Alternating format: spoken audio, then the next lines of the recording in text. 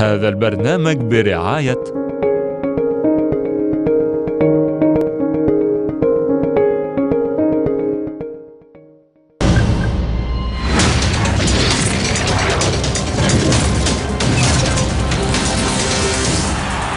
بسم الله الرحمن الرحيم. أهلا بيكم. حلقة جديدة مع كورة كل يوم. النهارده هيكون عندنا حلقة مميزة جدا إن شاء الله. عندنا أخبار متنوعة أخبار عن منتخب مصر أخبار الدوري المصري أو الأندية المصرية هنتابع كأس الخليج والمباراة الافتتاحية النهارده والتعادل إيجابي في أول مباراة في البطولة ما بين المنتخب السعودي والمنتخب ال- القطري. وبعد شوية هتبدأ المباراة الثانية في نفس المجموعة مباراة المنتخب البحريني مع المنتخب اليمني. هنتابع نتائج الممتاز بيه النهارده في كل ال- المجموعات المجموعات الستة. عندنا فقرة عالمية مميزة جدا الماتشات الودية اللي بتتلعب حاليا في الأجندة الدولية البرازيل فازت على تركيا 4-0 هولندا بتخسر من المكسيك 3-2 الأرجنتين بتكسب كرواتيا 2-1 عندنا مجموعة من ال- الماتشات والأهداف الجميلة آه، والفقرة العالمية اللي بيعدها آه، زميلنا محمد أبو الليل. وفي ختام برنامجنا أو في الجزء الأخير هيكون معايا إسلام صادق وأحمد الخضري.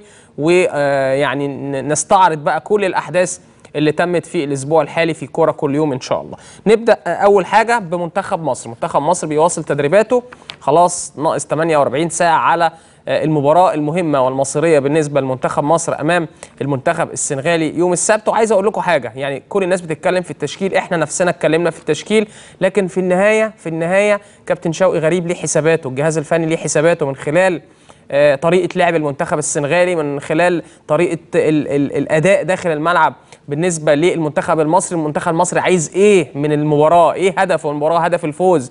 إزاي اضيق المساحات على المنتخب السنغالي؟ سيستم والاستراتيجي أو الاستراتيجية بالنسبة لمنتخب مصر داخل الملعب هتكون إزاي؟ ده اللي هيحدده التشكيل. ولغاية دلوقتي كابتن شوقي طبعا بيفكر في التشكيل لكن خلاص يعني النهارده الخميس أعتقد بنسبة 90% تشكيل جوه دماغ كابتن شوقي غريب. لكن إحنا طبعا مش عارفين الثلاث مراكز اللي إحنا لغاية دلوقتي لغاية دلوقتي في تكهنات كتيرة يعني حتى النهارده سمعت كلام جديد كده إن في كلام على آه، أحمد فتحي في مركز المساك جنب آه، محمد نجيب وإن أحمد المحمدي أو حازم إمام ناحية اليمين وصابر رحيل ناحية الشمال يعني في كلام كتير جدا جدا جدا في كلام تاني يقول لك طب ما حسام غالي بيجيد الحتة اللي في القلب في قلب. في قلب الملعب يلعب هو ومحمد نجيب الاثنين جنب بعض. كاتنين مساكين ويبقى آه، محمد نجيب هو اللي بيمسك وحسام غالي هو اللي بيغطي ووجود أحمد فتحي ناحية اليمين أو ناحية الشمال.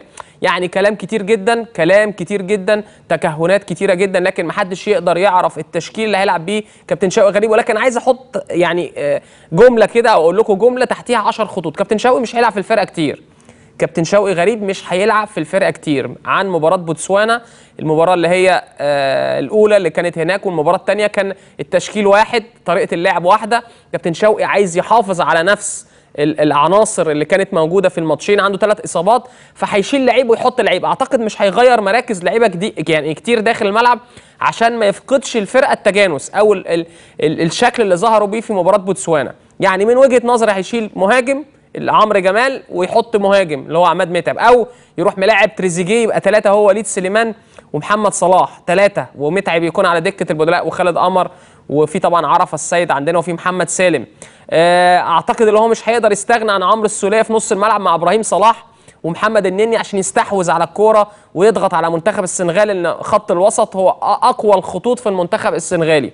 منطقة ال- ال back left دي بقى هي المشكلة هي اللي فيها كلام كتير جدا جدا. هي دي اللي ممكن تعمل تغيير في شكل المنتخب. رغم إن أنا بقول لكم إن كابتن شوقي مش مش عايز يلعب أو يغير في خطوط الفريق كتير لكن هي دي هل يلعب بصابر رحيل على طول يبقى شال محمد عبد الشافي للاصابه وحط صابر رحيل ويريح دماغه ولا يلعب أحمد فتحي ناحية الشمال؟ حاجات كتير جدا جدا جدا.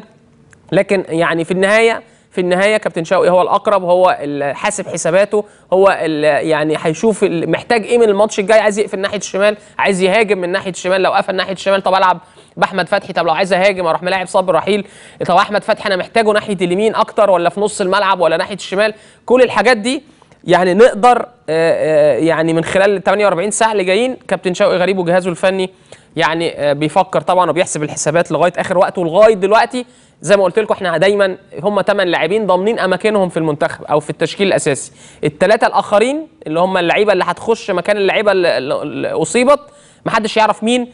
في طبعا ترشيحات وإحنا اتكلمنا في الكلام بقالنا أسبوع بنتكلم لكن هنسيب القصة لكابتن شاوي بالتوفيق إن شاء الله في المباراة القادمة. النهارده المنتخب الأولمبي عمل مباراة كبيرة جدا يعني مباراة أمام المنتخب السوداني الأولمبي وفوز كبير جدا على المنتخب السوداني الأولمبي في استاد الدفاع الجوي 5-0 مباراة قوية الشوط الأول انتهى بهدفين لمنتخب مصر هدف عن طريق رامي ربيعة وبعدين الهدف الثاني أحد لعيبة المنتخب السوداني أحرز هدف في مرماه وبعدين كهربا جاب الهدف الثالث شكري نجيب الهدف الرابع لاعب النادي الإسماعيلي وكهربا جاب برضه الهدف الخامس لمنتخب مصر في الشوط الثاني في نهاية المباراة. وفوز كبير لمنتخب مصر مع المنتخب السوداني النهارده. أنا شايف ما شاء الله ما شاء الله يعني مش عايز أحسدهم ماشيين بخطى ثابتة.